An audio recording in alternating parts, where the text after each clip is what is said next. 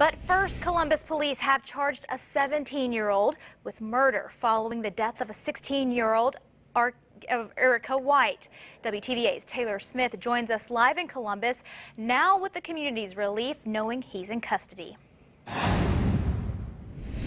Danielle, I am in Propst Park right now at the activity center. You can see right behind me where caution tape is still lingering, reminding people of the tragedy that took place on Saturday night. I spoke with residents in the community today. They say they are taking a sigh of relief knowing the suspected shooter is in custody.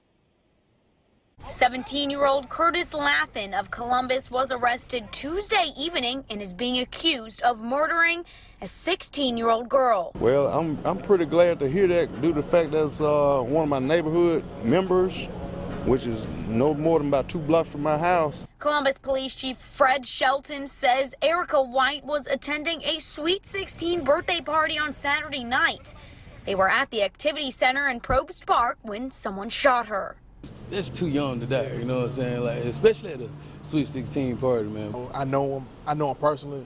And I hate that happened to him, but I'm glad they get some kind of closure, and I hope, you know, just to be certain. There are still no answers as to why shots were fired that night. What do you think was going on at the party for shots to be fired?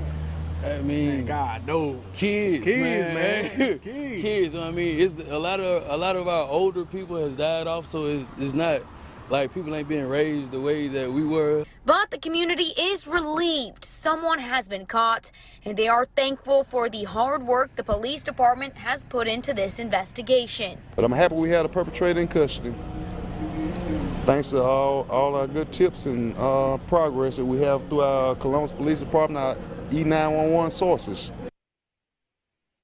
Latham did appear in court this afternoon and was denied bond. And right now, we do not know when his next court appearance will be at this time. Live in Columbus, Taylor Smith, WTVA 9 News.